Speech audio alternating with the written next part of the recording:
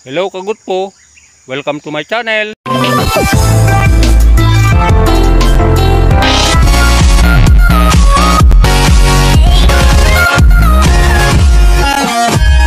Kagut po. Ako ngayon ay mag spray na sa aking palay dahil ako na yung nahuhuli doon. Yung mga insekto ay dumadami na. Sayang lang din naman yung mga butil pagka hindi natin kasi sprehan. Talagang sisip-sipin nila yung mga laman. Yan kasi yung mga insekto. So, tayo ay naglalakad kagut po papunta dun sa may aking palayan. Dito lang yun sa baba. Ayun. So kanina agahan ko sana kaso parang masama yung panahon kanina. Parang umambong pa nga. Ito hinintay ko lang na tumigil. So parang araw din. Bale, isa palaran na lang natin para mapuksa yung mga insekto. Yun. So doon tayo pupunta kagut po.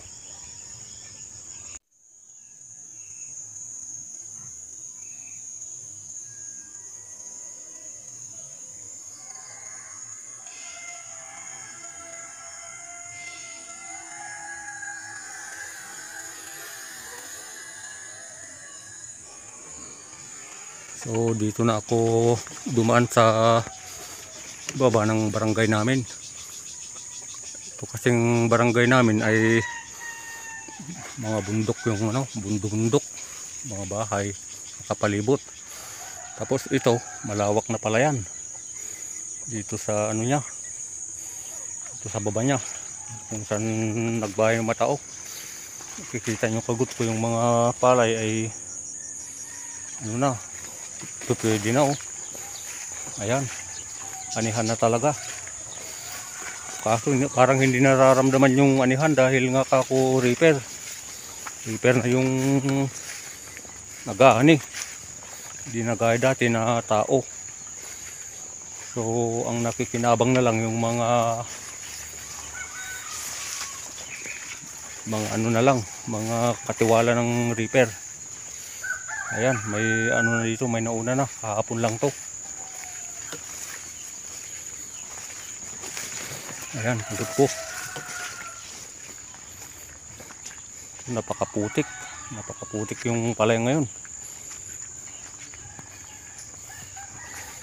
So, dyan tayo pupunta. Nandun yung ating palay. Ayan. Halos magsasabay ng mayan. Oh, mga payelo na sila.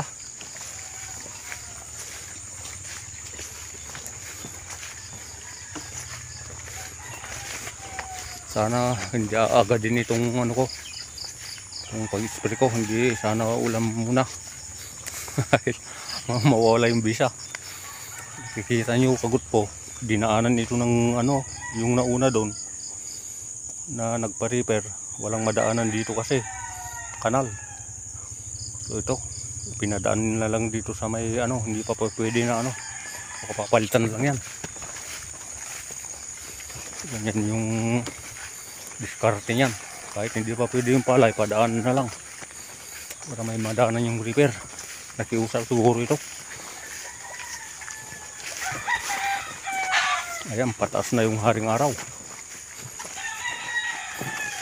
Kanina, hindi nakikita yan.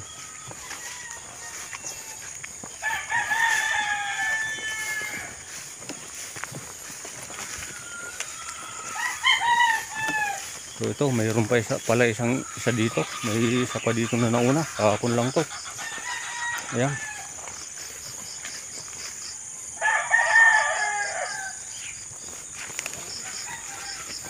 So ako na lang yung ano dito. Yung aking palay ay verde pa. Ano pa lang, pa, labas pa lang yung mga butil. Na-sprayan ko na dahil hindi pa nakakatipin yung spray to. So ito kagut po, dinaan ng repair to. Ayan, mga diskarte, kanal kasi ito. Doon, inil- inilusot doon. Ayun naman yung eskwelahan. So ito na yung katabi ko. Ayan. Ang daming insekto.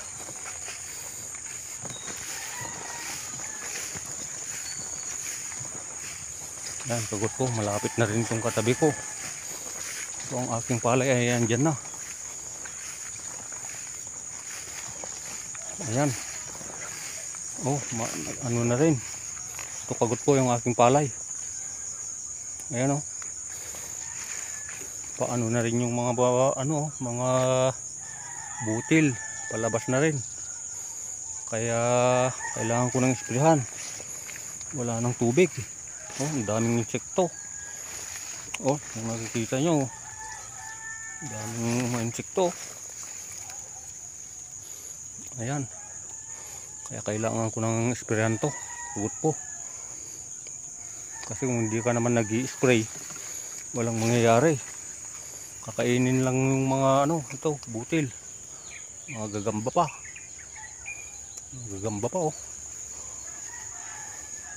So yan yung kabila. Ito, buti ito ano na. Buti ito ay nakauna kasi noon. Ako na lang mahuli kaya kailangan ko ng esperanto. Pagot po. Pagot po.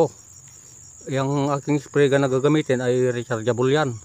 Kaya hindi ko na kailangang ibumba-bumba yan dahil kinyacharge yan. Nahirapan kasi ako sa mga mano-mano. Kaya yan, ang, ang paglalagay ng spray ay kahit isang takip. Pwedeng dalawang takip yan, yung insecticide na yan. So, kargan ko na, kagot po.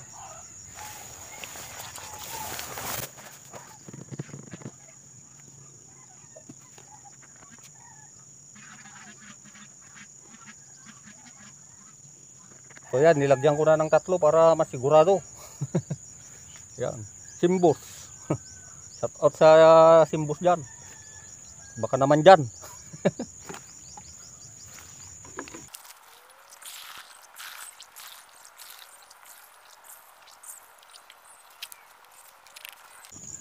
so, ayan kagot po. Gaugayin lang, ganyan.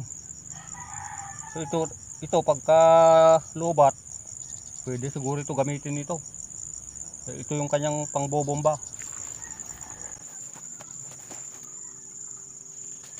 Kailangan nating magsuot ng mask para ano sa gamot.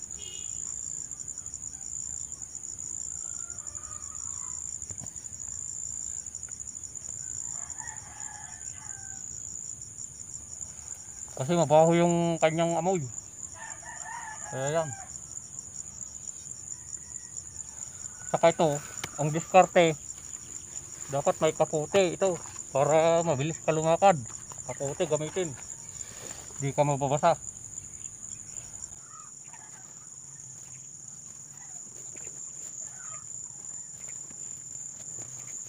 Dito kagot po dito sa ilalim, dito yung kanyang on.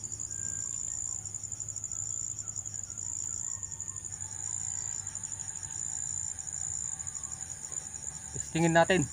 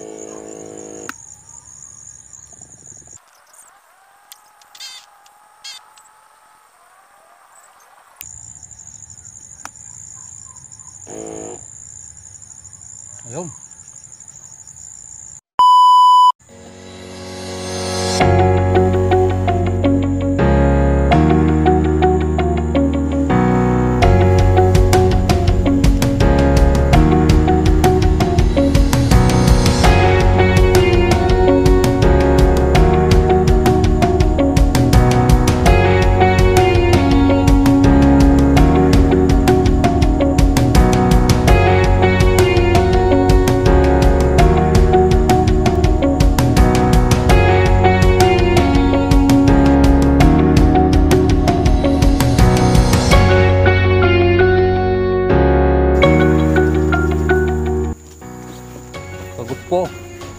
Tapos na dito, banda dito. Punta naman ako doon sa dulo. Doon. So ito yung sabi ko na isa sa pinakamahirap na gawain sa bukid. Mag-spray. Yung pag-aabono kasi, ihahagis lang siya. Ito ay talagang sa putik talaga. Nababaon ka talaga sa putik. Daming mga insekto. Yun naman sa dulo para tapos na. So pagka maaga ka nag-spray, nakikita mo yung dinaanan mo dahil nalalaglag yung hamog para matatansya mo. Matatansya mo kung saan ka dumaan. So ito kanina nakatatlong hirira ako sa pag-spray nito. Isang kilo ng tawag sa amin. Hanggang doon. Ito, kung kabila ay nakauna ang mga ito. Ayan o. Pahinog na.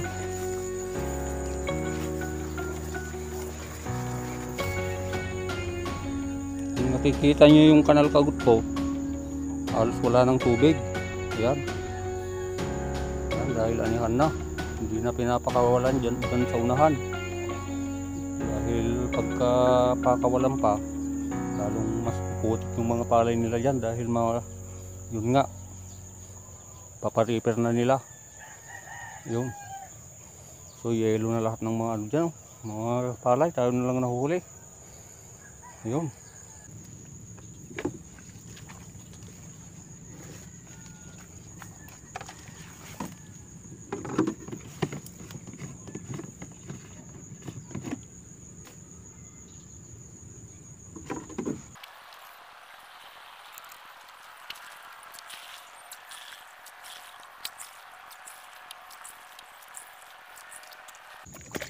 Kailangan malinis yung tubig para hindi babarado.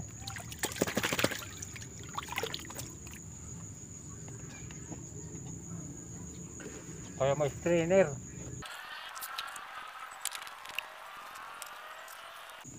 Itong mahirap sa akin kaguto.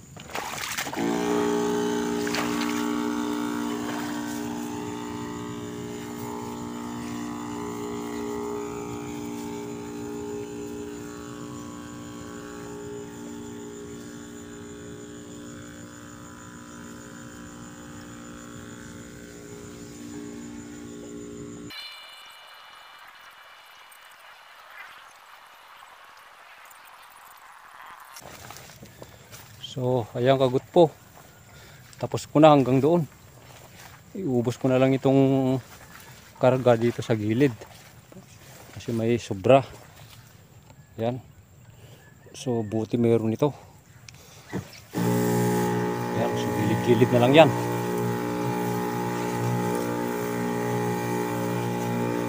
Pasensya sa ating video. Tagilid. Dahil hindi nakakahawak masyado itong sa akong kamay. Pagod po.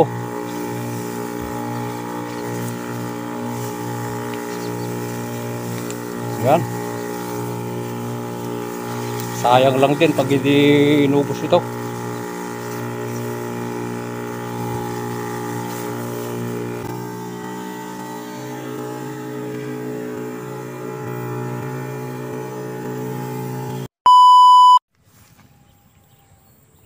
So, ito kagut po. Tapos na. Ayan na. Makakauwi na tayo nito. Ayan, ang ating palay. Daming insekto. So siguro baka isang beses lang ako mag-spray nito dahil pagka palagi naman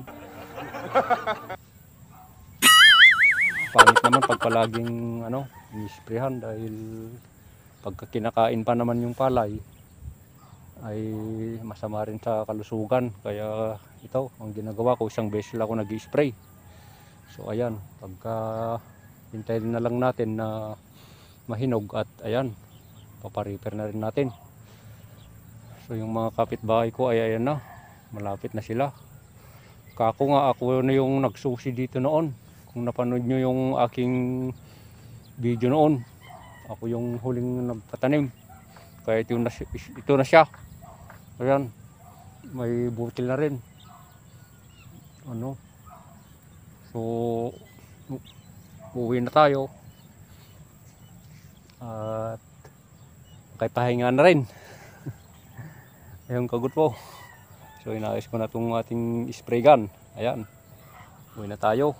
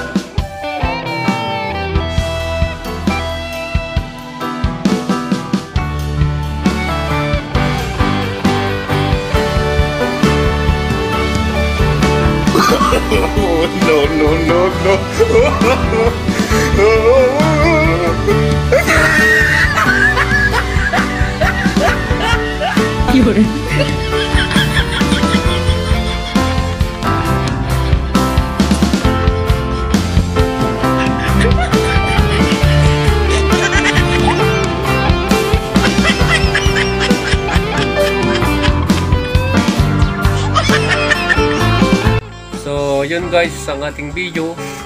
Huwag kalimutang mag-likes, comments, share na rin guys. At higit sa lahat, subscribe na para updated kayo sa mga susunod na nating video. God bless us all guys.